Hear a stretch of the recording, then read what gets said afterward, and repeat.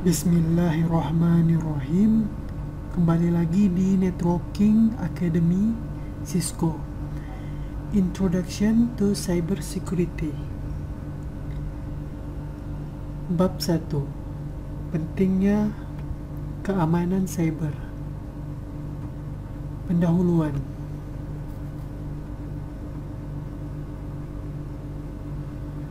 Pentingnya keamanan cyber. Bab ini akan menjelaskan apa itu cyber security, keamanan cyber, dan mengapa permintaan akan profesional di bidang cyber security meningkat. Bab ini juga menjelaskan apa itu identitas data online Anda, di mana itu, dan mengapa hal itu menarik bagi penjahat cyber. Bab ini juga membahas apa itu data organisasi, mengapa data itu harus dilindungi. Juga membahas siapa penyerang cyber dan apa yang mereka inginkan.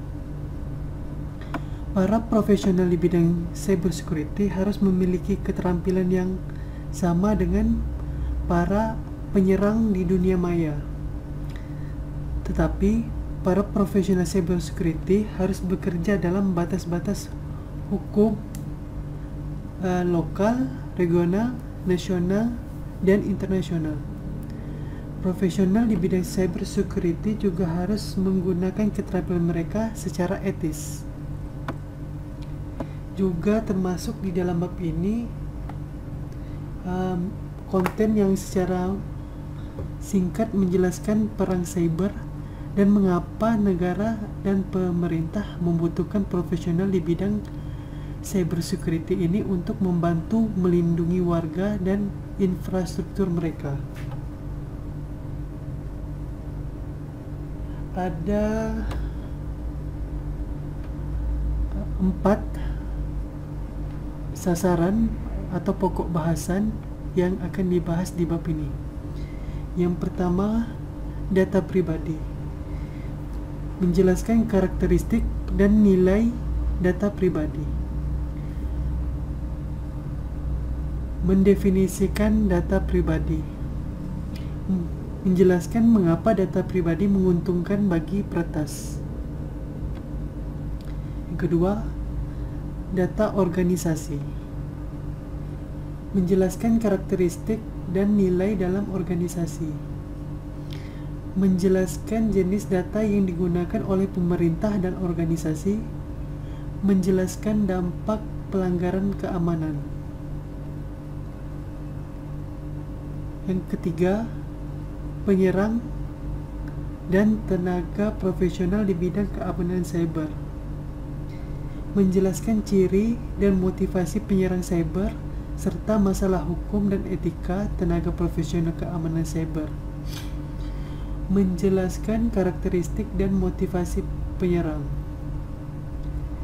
Bagian 4 Perang Cyber Menjelaskan karakteristik dan tujuan perang cyber. Menjelaskan perang cyber dan penutup simpulan. Data pribadi. Pendahuluan data pribadi. Apa itu data pribadi? Jaringan informasi elektronik yang terhubung telah menjadi bagian dari kehidupan kita masing-masing.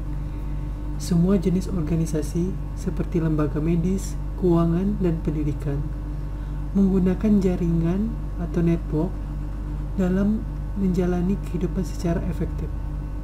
Mereka memanfaatkan jaringan dengan mengumpulkan, memproses, menyimpan dan berbagi sejumlah besar informasi digital.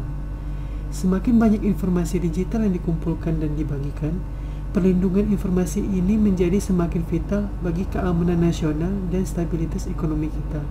Cyber security atau keamanan cyber sendiri adalah suatu perlindungan sistem dan jaringan data dari penggunaan yang tidak sah atau berbahaya. Pada tingkat pribadi, anda perlu melindungi identitas Anda, data Anda, dan perangkat komputasi Anda. Di level perusahaan, adalah tanggung jawab semua orang untuk melindungi reputasi, data, dan pelanggan di perusahaan tersebut. Di tingkat negara, keamanan nasional dan keselamatan dan kesejahteraan warga negara dipertaruhkan. Identitas online dan offline Anda. Karena waktu kita banyak dihabiskan online, data Anda baik data online maupun offline sangat berpengaruh kepada hidup Anda. Identitas offline adalah orang yang berinteraksi dengan teman dan keluarga setiap hari, seperti di rumah, di sekolah, atau di tempat kerja. Mereka tahu informasi pribadi Anda, seperti nama, usia, atau tempat tinggal. Bentuk salah satu bentuk dari identitas offline Anda itu seperti KTP, SIM, paspor. Identitas online Anda adalah siapa Anda di dunia maya atau identitas Anda selama berselancar di dunia maya. Identitas online Anda adalah cara, adalah cara Anda menampilkan diri kepada orang lain secara online. Identitas online ini seharusnya hanya mengungkap sejumlah informasi tentang Anda. Anda harus berhati-hati ketika memilih nama pengguna atau alias name untuk identitas online Anda. Nama pengguna tidak boleh menyertakan informasi pribadi apa pun.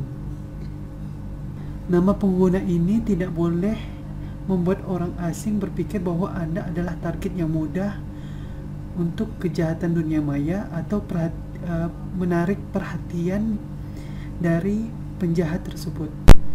Data Anda.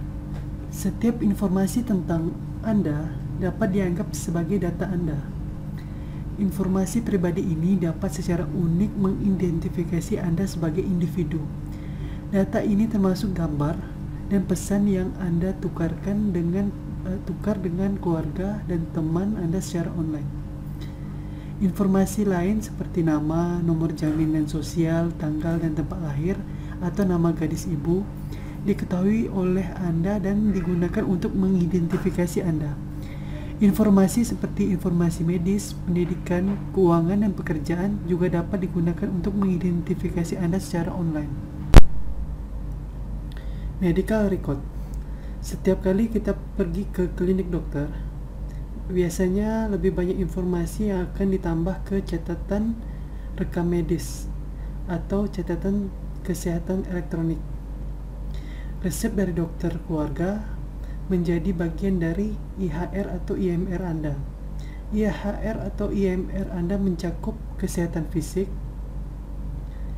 kesehatan mental, dan informasi pribadi lainnya yang mungkin tidak terkait secara medis. Misalnya, jika Anda memiliki konseling sebagai seorang anak ketika ada perubahan besar dalam keluarga, ini akan berada di suatu tempat dalam catatan catatan khusus di rekam medis Anda.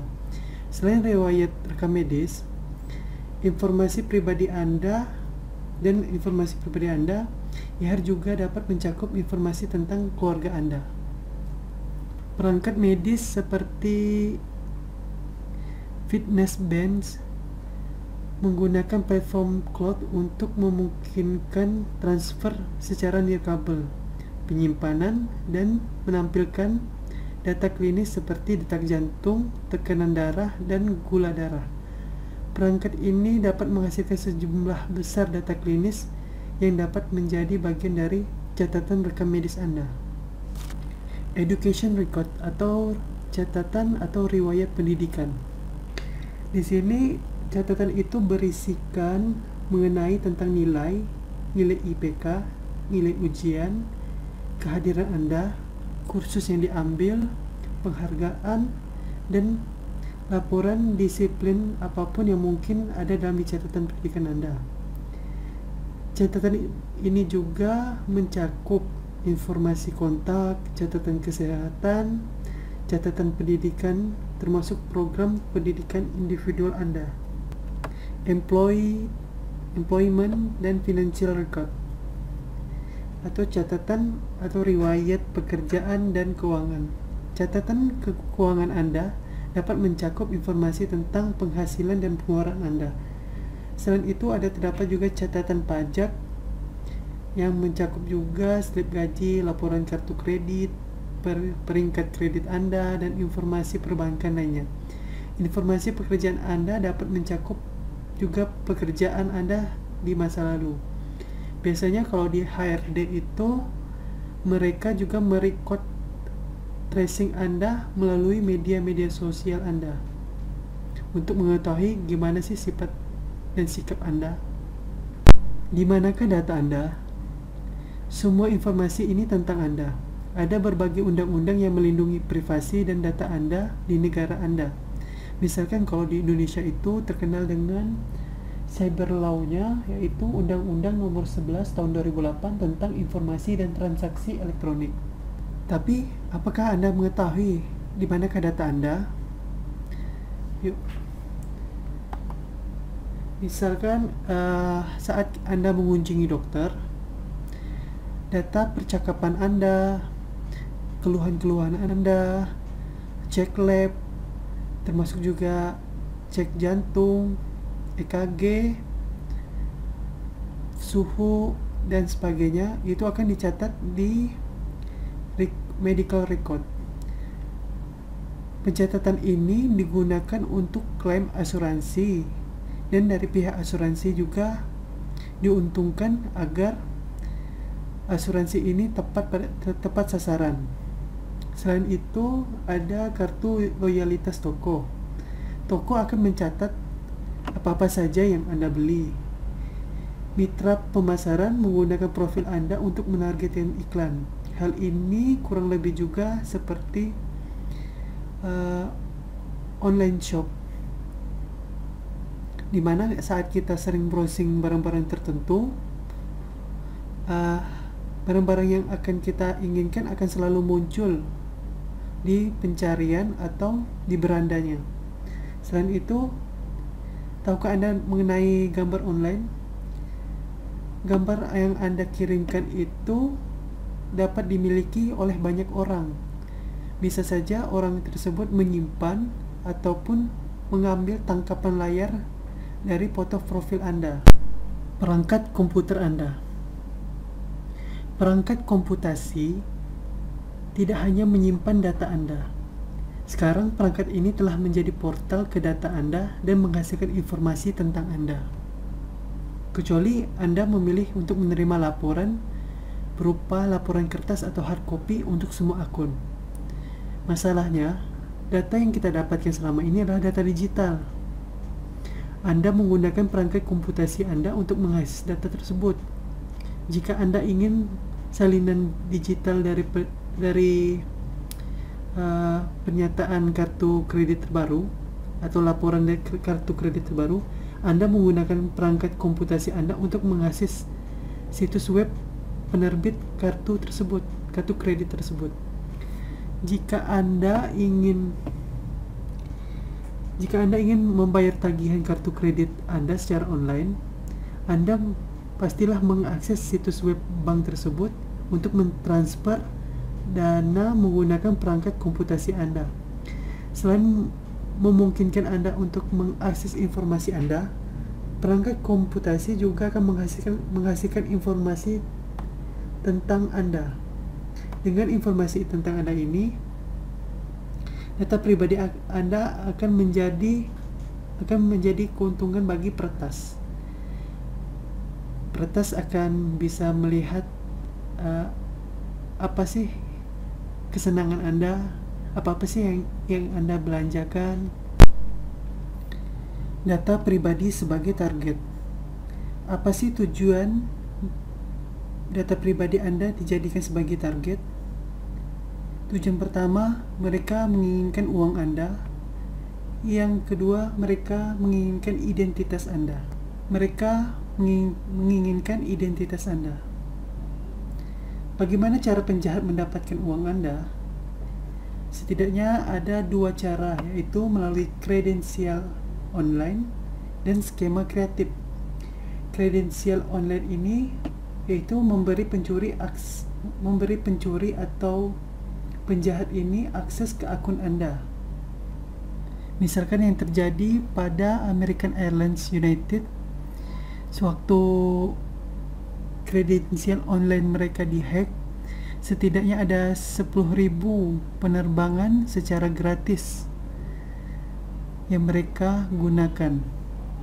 Yang kedua, melalui skema kreatif, yaitu mengelabui Anda agar mentransfer uang ke teman atau keluarga. Ini seperti yang terjadi hingga sampai sekarang juga. Misalkan ada berita bohong atau berita atau kabar duka yang menimpa saudara Anda yang sedang yang kecelakaan. Sebenarnya tidak ada terjadi kecelakaan. Mereka merujuk Anda untuk mentransfer uang ke rekening mereka. Tujuan kedua, mereka menginginkan identitas Anda. Selain mencuri uang Anda untuk keuntungan moneter jangka pendek, Para penjahat menginginkan keuntungan jangka panjang dengan mencuri identitas Anda. Sebagai contoh, ketika biaya medis meningkat, pencurian identitas medis juga meningkat. Pencuri identitas mencuri asuransi medis Anda dan menggunakan manfaat medis Anda untuk diri mereka sendiri.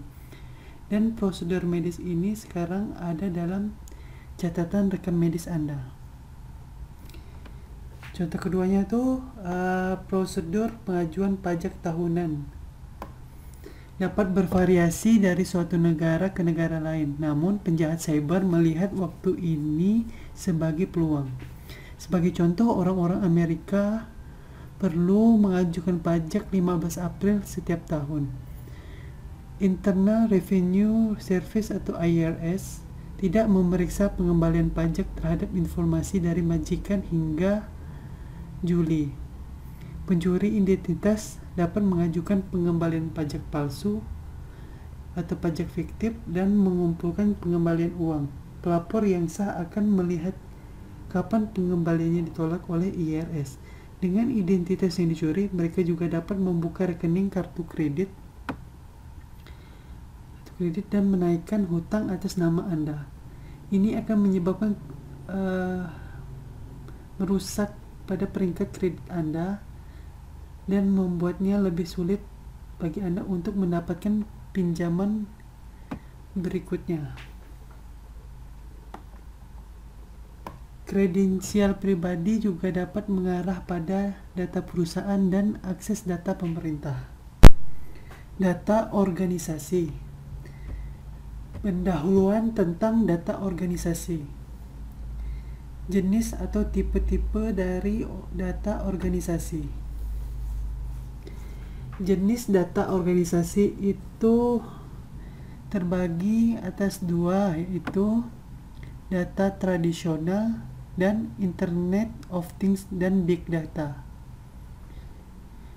Data tradisional terdiri dari data staff, kekayaan intelektual, dan keuangan.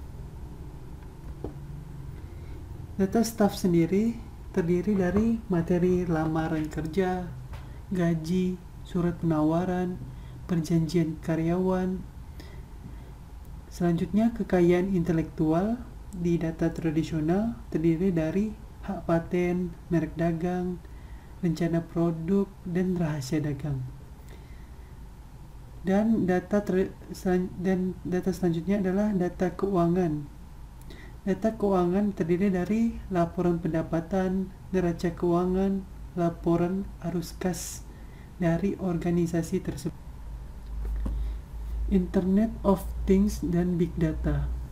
Dengan munculnya Internet of Things atau IoT, ada lebih banyak data yang dikelola dan diamankan.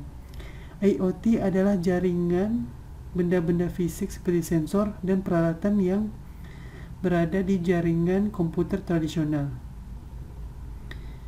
Koneksi ini ditambahkan fakta untuk memperluas kapasitas penyimpanan dan layanan penyimpanan melalui cloud dan virtualisasi,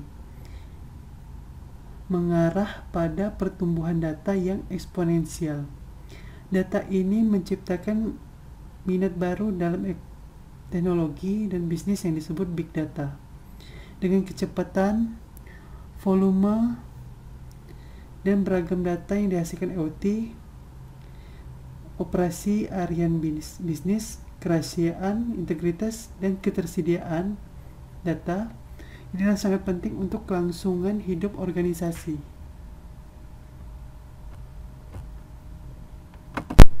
Kerahasiaan, integritas, dan ketersediaan atau confidential integrity and availability. Kerahasiaan, integritas, dan ketersediaan yang dikenal dengan trias CIA pada gambar pertama CIA adalah pedoman untuk keamanan informasi bagi suatu organisasi. Kerahasiaan memastikan privasi data Anda dengan membatasi akses melalui enkripsi autentikasi. Integritas memastikan bahwa informasi itu akurat dan dapat dipercaya. Ketersediaan memastikan bahwa informasi tersebut dapat diakses oleh orang yang berwenang. Confidentiality Istilah lain untuk kerahasiaan adalah privacy. Kebijakan perusahaan harus membatasi akses ke informasi kepada personel yang berwenang dan memastikan bahwa hanya orang-orang yang berwenang yang dapat melihat data ini. Data data dapat dikelompokkan menurut tingkat keamanan atau sensitivitas informasinya. Misalnya, pengembang program Java tidak harus mengakses informasi pribadi semua karyawan. Selain itu, karyawan harus menerima pelatihan untuk memahami praktik terbaik dalam menjaga informasi sensitif untuk melindungi diri mereka sendiri dan perusahaan dari serangan. Metode untuk memastikan kerahasiaan termasuk enkripsi data, ID nama pengguna, kata sandi, autentifikasi dua faktor, dan meminimalkan pemaparan informasi yang sensitif. Integritas Integritas adalah akurasi, konsistensi, dan terpercaya selama siklus hidupnya. Data harus tidak dapat diubah selama transit dan tidak diubah oleh entitas yang tidak sah. Izin file dan kontrol akses pengguna dapat mencegah akses tidak sah. Kontrol versi dapat digunakan untuk mencegah perubahan yang tidak sengaja oleh pengguna yang berwenang. Cadangan harus tersedia untuk memulihkan data yang rusak. Checksum harus tersedia untuk memulihkan data yang rusak. Dan checksum hashing dapat digunakan untuk memverifikasi integritas selama transfer data. Sebuah checksum digunakan untuk memverifikasi integritas file atau rangkaian karakter setelah mereka ditransfer dari satu perangkat ke perangkat lain di jaringan lokal atau lewat internet. Checksum dihitung dengan fungsi hash. Beberapa checksum yang umum seperti MD5, SHA1, SH256, dan SH512 Fungsi hash menggunakan algoritma matematika untuk mengubah data menjadi nilai panjang yang tetap untuk mewakili data, seperti ditunjukkan gambar kedua. Nilai hash ada untuk perbandingan. Dari nilai hash, data asli tidak dapat diambil secara langsung. Misalnya, jika Anda lupa kata sandi, kata sandi Anda tidak dapat dipulihkan dari nilai hash sehingga kata sandi harus diatur ulang. Ini misalnya plain text yang langsung di hash menghasilkan nilai hash. Setelah diunduh, Anda dapat memverifikasi integritasnya dengan memverifikasi nilai hash dari sumber dengan uh, menghasilkan atau menggunakan kalkulator hash apa pun. Dengan membandingkan nilai hash, Anda dapat memastikan bahwa file tersebut tidak dirusak atau rusak selama transfer. Ketersediaan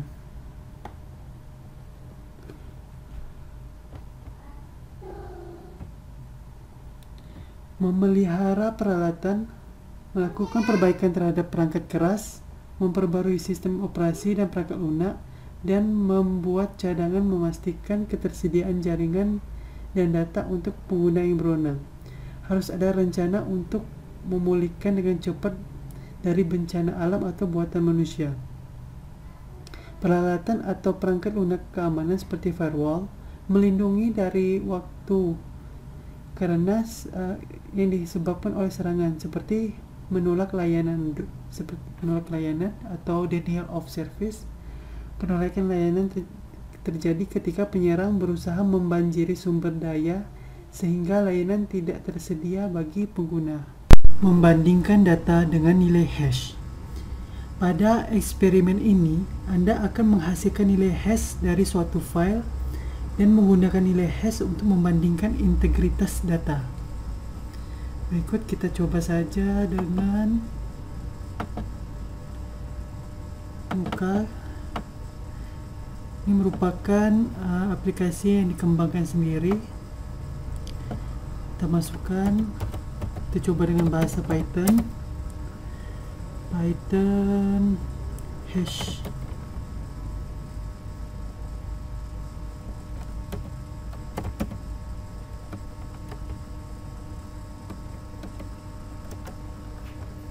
Kita ambil file yang ingin dicek nilainya. Kita coba dengan file txt hash txt. Nama saya kita coba. Hash dot txt. Akan didapatkan nilai md5 nya.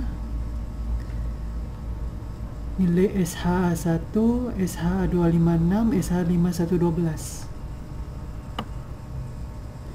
berikut kita coba gandakan uh, file ini? Apakah data masih memiliki integri integritasnya? Hash slash copy. Oke okay. kita coba. Python hash. Kita ambil file. Hash spasi strip copy Bentar. ternyata file tidak berubah. Isi dari file tidak berubah integritasnya.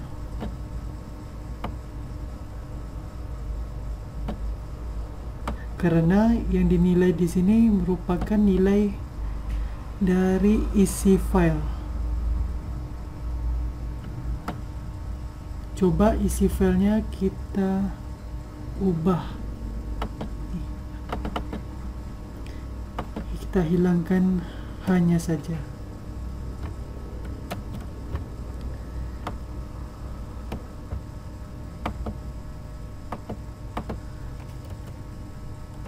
Kita coba uh, dot txt enter. Ternyata nilainya berubah.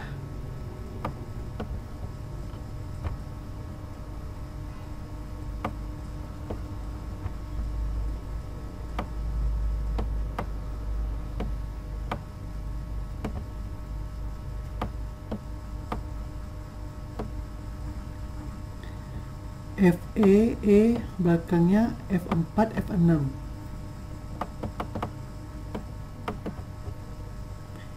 ini depannya 3D F4 makanya 39 berikut juga dengan nilai SHA1 dapat perubahan SH256 satu. Ber berbeda juga. Dan nilai SH512 cukup berbeda. Coba kita ganti seharusnya file pertamanya seperti ini kita ubah jadi z. Simpan. Lalu kita cek.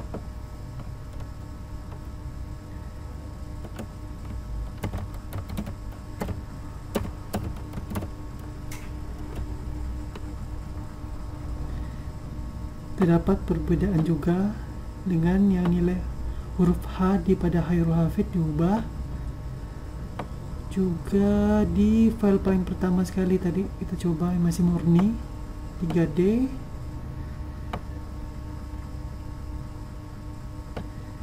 tujuh delapan. delapan kosong kosong kosong tiga sembilan. Begitu juga juga dengan nilai SHA 1 256 dan 512 nya terdapat perbedaan. Sekarang kita coba dengan file gambar. Kita cari nilai hash dari isi gambar ini. Python hash. Sekarang kita masukkan img img.jpg lalu kita coba kita ubah kita kompres.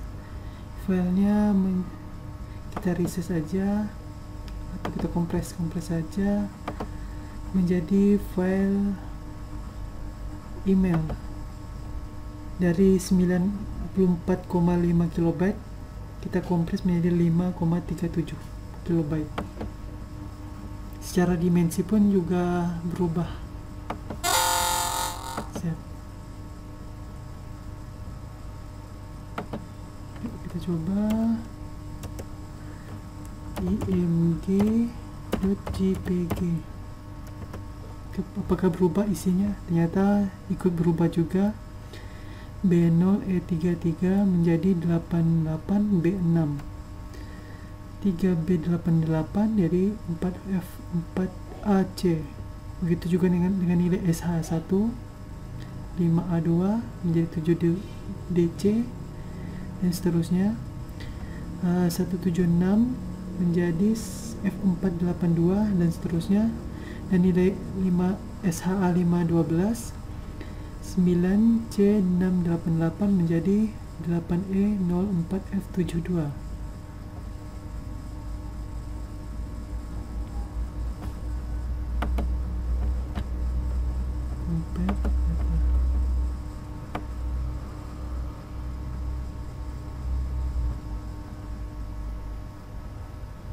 ini bisa juga dicoba. Dari Cisco nya langsung. Bisa MD5, MD4, SH1 Panama, Tiger, Alder, CRC 32 Dampak dari sebuah pelanggaran keamanan. Konsekuensi-konsekuensi dari sebuah pelanggaran keamanan untuk melindungi organisasi dari setiap kemungkinan serangan cyber tidaklah mungkin dilakukan karena beberapa alasan. Keahlian yang diperlukan untuk menyiapkan dan memelihara jaringan jauh lebih mahal. Penyerang akan selalu mencari cara untuk menargetkan jaringan. Akhirnya serangan cyber bertarget akan berhasil.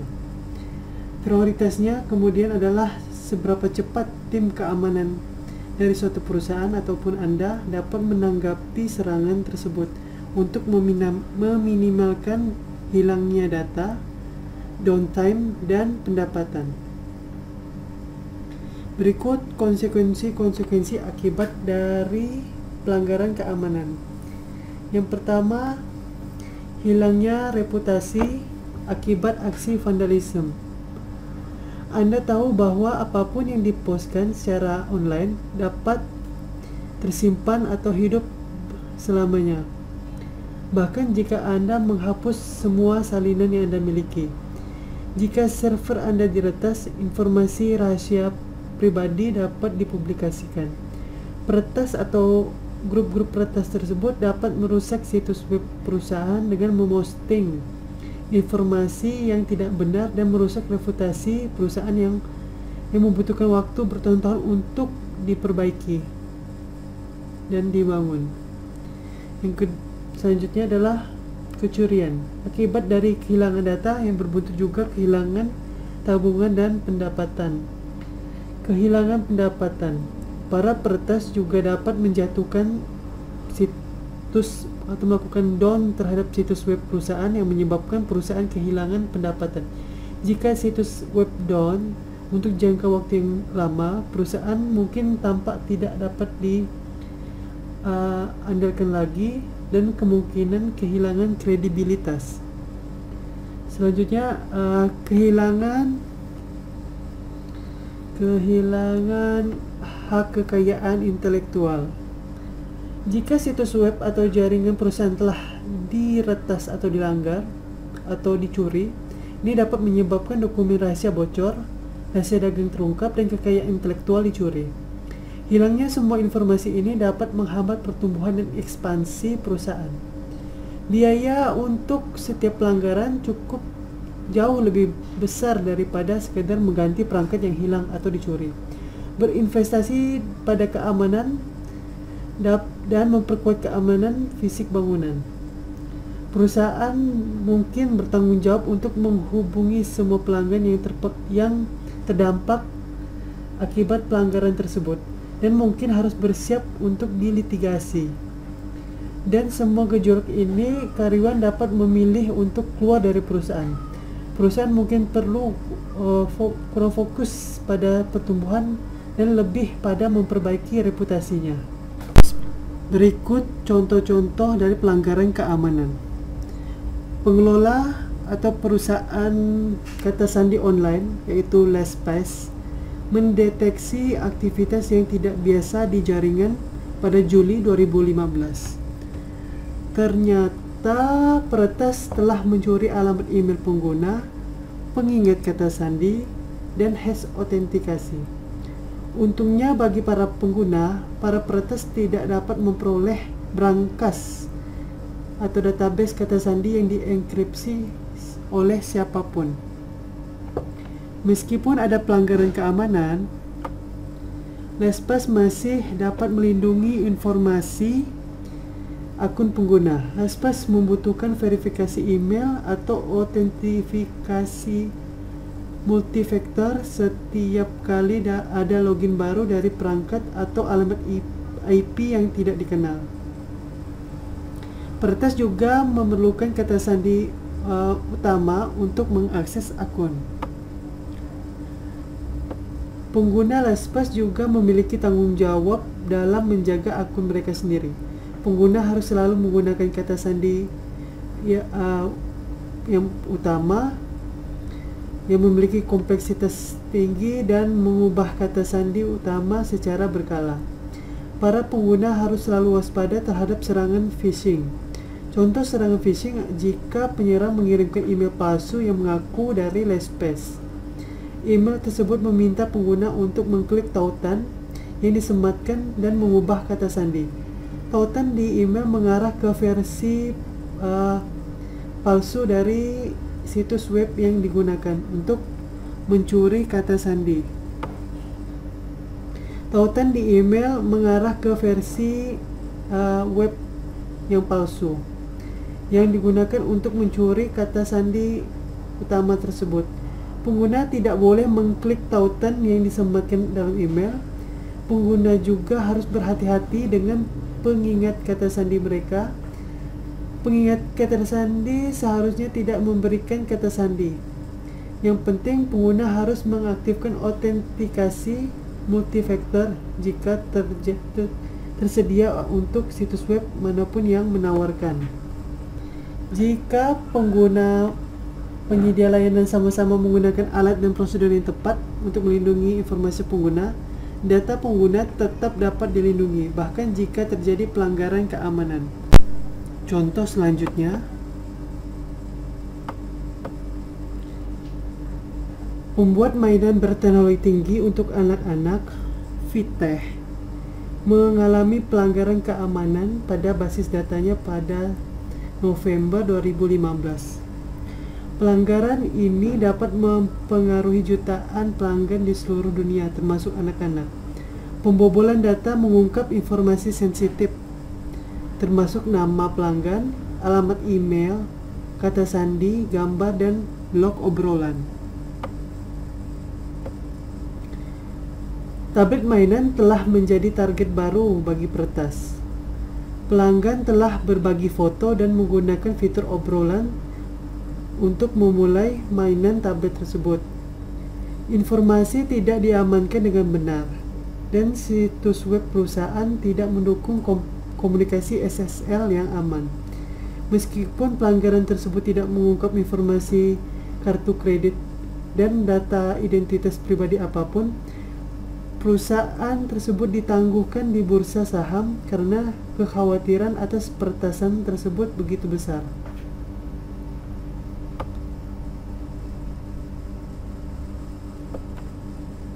Vita tidak melindungi informasi pelanggan dengan benar dan itu terungkap selama selama masa pelanggaran.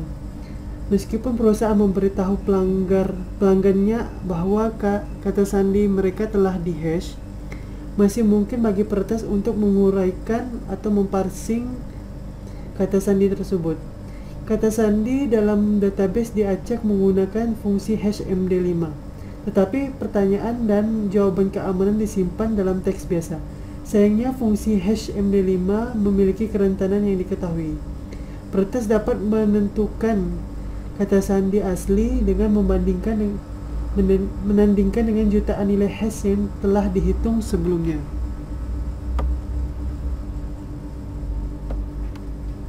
Dengan informasi yang terungkap dalam pelanggaran data ini, penjahat dunia maya dapat menggunakannya untuk membuat akun email, mengajukan kredit, dan melakukan kejahatan sebelum anak-anak cukup besar untuk bersekolah. Untuk orang tua dari anak-anak penjahat dunia maya dapat mengambil alih akun online karena banyak orang menggunakan kembali kata sandi mereka di situs web dan akun yang berbeda. Pelanggar pelanggaran keamanan tidak hanya berdampak pada privasi pelanggan tetapi juga merusak reputasi perusahaan seperti yang ditunjukkan oleh perusahaan ketika kehadirannya di di bursa saham ditangguhkan. Bagi orang tua, ini adalah seruan untuk lebih waspada tentang privasi online uh, anak-anak uh, mereka dan menuntut keamanan yang lebih baik untuk produk anak-anak. Untuk produsen produk yang terhubung ke jaringan, mereka harus lebih agresif dan melindungi data dan privasi pelanggan sekarang dan di masa depan, seiring dengan berkembangnya landscape serangan cyber.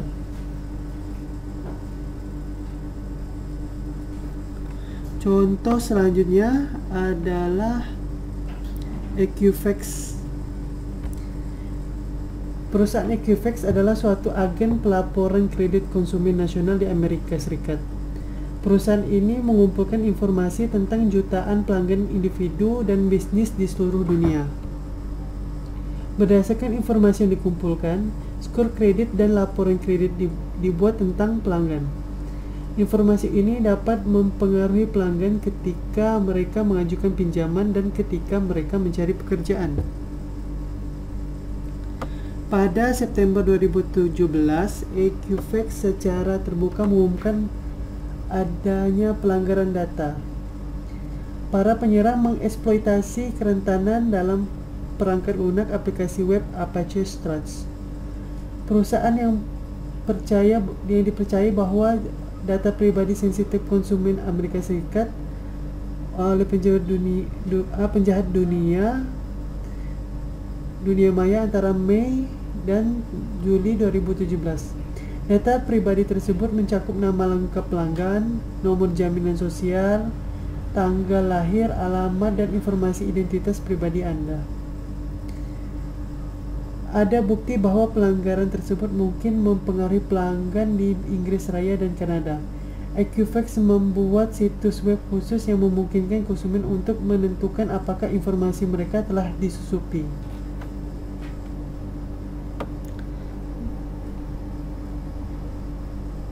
Dan untuk mendaftar untuk pemantauan kredit dan pelindungan pencurian identitas menggunakan nama domain baru alih-alih menggunakan subdomain dari equifax.com. Hal ini memungkinkan pihak yang melakukan kejahatan untuk membuat situs web yang tidak sah dengan nama yang mirip. Situs web ini dapat digunakan sebagai bagian dari skema phishing untuk mengelabui Anda dan agar memberikan informasi pribadi. Lebih lanjut, seorang karyawan dari Equifax memberikan tautan web yang salah di media sosial untuk pelanggan yang merasa ragu-ragu. Untungnya situs web ini dihentikan dalam waktu 24 jam. Itu dibuat oleh individu yang menggunakannya sebagai kesempatan uh, untuk mengekspos kerentanan yang ada di halaman respon Equifax. sebagai konsumen sebagai konsumen yang peduli, Anda mungkin ingin segera memverifikasi jika informasi Anda telah disusupi, sehingga Anda dapat meminimalkan dampaknya. Dalam masa krisis, Anda mungkin tertipu untuk menggunakannya menggunakan situs web yang tidak sah. Anda harus berhati-hati dalam memberikan informasi pribadi sehingga Anda tidak menjadi korban lagi. Selain itu, perusahaan bertanggung jawab untuk menjaga keamanan informasi dari akses yang tidak sah. Perusahaan perlu secara teratur menambal dan memperbarui perangkat lunak mereka untuk mengurangi eksploitasi kerentanan yang diketahui. Pegawai mereka harus dididik dan diinformasikan tentang prosedur untuk melindungi informasi dan apa yang harus dilakukan jika terjadi pelanggaran. Sayangnya, korban sebenarnya dari pelanggaran ini adalah individu yang datanya mungkin telah diretas. Dalam hal ini, Equifax memiliki beban melindungi data konsumen yang dikumpulkan saat melakukan pemeriksaan kredit karena pelanggan tidak memiliki memilih untuk menggunakan layanan yang disediakan oleh Equifax. Konsumen harus mempercayai perusahaan yang untuk menjaga informasi yang dikumpulkan. Lebih lanjut, penyerang dapat menggunakan data ini untuk mengasumsikan identitas Anda dan sulit untuk membuktikan sebaliknya karena baik penyerang maupun korban mengetahui informasi yang sama. Dalam situasi ini, yang paling dapat Anda lakukan adalah waspada saat Anda memberikan informasi identitas pribadi melalui internet. Periksa laporan kredit Anda secara terjadwal dan teratur sebulan sekali atau sekali per kuartal. Segera laporkan informasi palsu apa pun seperti pengajuan kredit yang tidak Anda lakukan atau memberi atau pembelian di kartu kredit yang tidak Anda lakukan. Penyerang dan profesional di bidang cyber security. Profil dari seorang penyerang cyber jenis-jenis dari penyerang.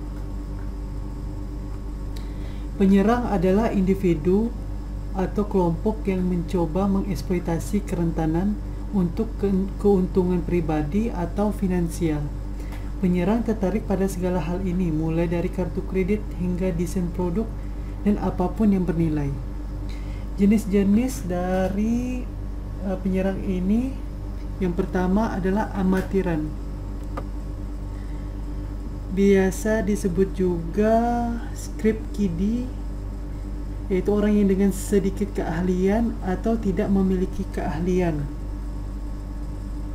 Beberapa hanya ingin tahu sementara sementara yang lainnya berusaha untuk menunjukkan keahlian dan menyebabkan kerugian biasanya menggunakan alat bantu yang standar namun dapat merusak database yang dimiliki oleh pribadi maupun perusahaan. Biasanya mereka juga menggunakan alat bantu yang ada atau petunjuk yang ditemukan secara online. Biasanya mereka dari hasil searching di web digunakan untuk menyerang target. Jenis keduanya adalah hacker atau disebut juga peretas, yaitu adalah penyerang yang membobol masuk ke komputer atau jaringan untuk mendapatkan akses. Hacker sendiri setidaknya terbagi tiga jenis, yaitu yang pertama white hat hacker atau bertopi putih, grey hat hacker atau bertopi abu-abu, dan black hat hacker bertopi hitam. Topi putih adalah penyerang yang membobol masuk ke sistem dengan izin untuk mendapatkan kelemahan sehingga keamanan sistem dapat ditingkatkan. Ini seperti salah satu online shop yang terkenal juga yang pernah membuat acara sayembara untuk menemukan kelemahan dari uh, sistem mereka. Mereka juga memberikan izin bagi peserta lomba untuk membobol keamanan mereka. Bedanya dengan Greyhead, Greyhead ini tidak hmm, tidak memiliki izin untuk mengakses dan membobol keamanan data tersebut. Ini pernah saya lakukan saat dulu ujian akhir dari suatu mata kuliah untuk membobol salah satu pro, uh, website pemerintah. Hanya sebatas ingin uh, tahu saja database namun tidak merusak. Selanjutnya adalah black hat hacker. Mereka memanfaatkan kerentanan apa pun untuk keuntungan pribadi, keuangan, atau politik yang ilegal. Ini dulu pernah kejadian dan sering sekali kejadian pernah kejadian pada heboh-heboh dulu itu masalah WikiLeaks yang dibobol oleh Snowden yang membocorkan data kejahatan Amerika. Selanjutnya adalah peretas terorganisasi, yaitu uh, organisasi penjahat cyber, aktivis yang melakukan uh, sabotase yang melakukan sabotase untuk kepentingan negaranya dan mendapatkan informasi tersebut. Selanjutnya teroris atau peretas yang didukung negara. Ancaman internal dan eksternal. Ancaman yang mungkin terjadi itu berasal dari internal maupun eksternal. Dari internal sendiri mungkin uh, berasal dari karyawan dan mantan karyawan, staf kontak maupun mitra terpercaya. Dari karyawan maupun staf kontrak Mungkin saja mereka salah menangani data rahasia. Tidak sengaja mungkin untuk uh, menyebarluaskan data atau terpancing oleh hacker. Mengancam operasi server internal dan perangkat infrastruktur jaringan.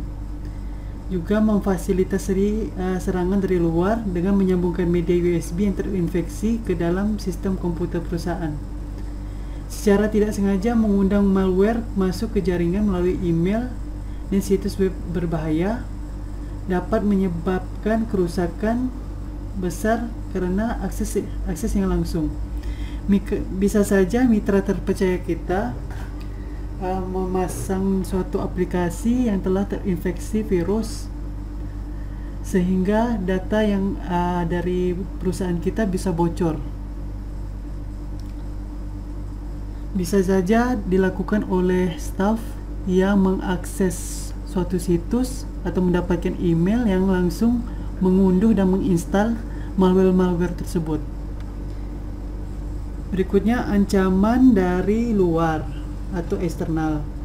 Biasanya uh, mereka-mereka uh, itu biasanya berasal dari hackers dan penyerang yang terorganisasi. Seperti uh, yang telah dijelaskan di subbab sebelumnya. Mereka mengeksploitasi kerentanan dalam jaringan dan perangkat atau perangkat komputer. Biasanya juga menggunakan rekayasa sosial untuk mendapatkan akses. Bisa saja mereka membujuk dari karyawan di suatu perusahaan untuk memberikan seperti password WiFi uh, atau kode rahasia atau password untuk mengakses data atau database tersebut. Setelah menjelaskan mengenai penyerang dan profesional di bidang cyber security, kita lanjutkan ke perang cyber. Overview dari perang cyber. Apa itu perang cyber? Dunia maya telah menjadi dimensi yang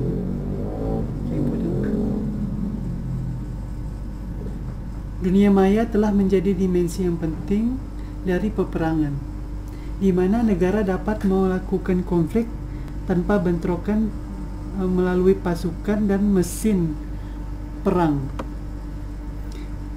Ini memungkinkan negara-negara dengan kehadiran militer yang minim sekuat negara-negara lainnya di dunia maya.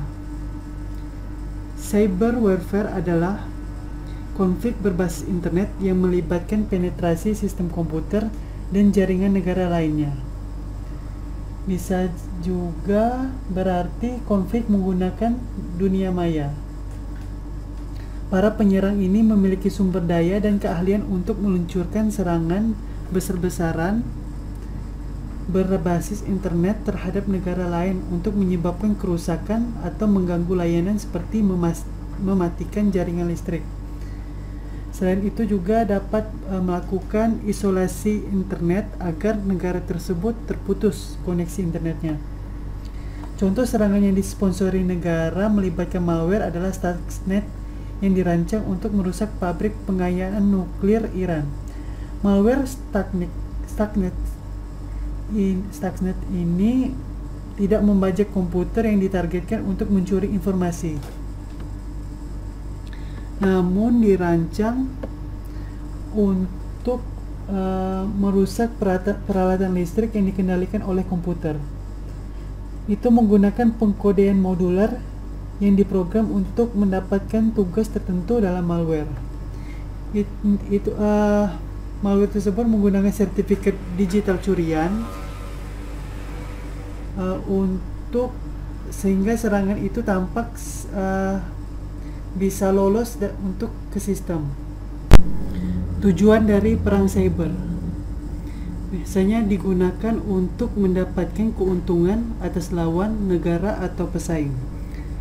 Pesaing sebuah negara dapat terus menyerang suatu negara lainnya untuk mendapatkan rahasia pertahanan, mengumpulkan informasi untuk teknologi dan mempersempit kesenjangan di bidang industri dan militer. Selain uh, spio kegiatan spionase di bidang industri dan militer, mereka juga mensabotase negara lain dan membahayakan nyawa negara yang ditargetkan. Misalnya, menyerang dan mengganggu uh, kinerja kerja dari PLN pembangkit listrik. Lalu setelah listrik terganggu menyebabkan transaksi juga ikut terganggu, baik transaksi barang dan jasa. Pasien juga di rumah sakit tidak dapat terlayani. Akses internet juga terganggu. Penyerang dapat berpura-pura menjadi user yang sah untuk mengakses informasi yang sensitif. Jika pemerintah tidak dapat menangani kecurian data ini, maka pemerintah akan kehilangan kepercayaannya untuk melindungi uh, melindungi masyarakatnya, sehingga akan timbul gejolak politik.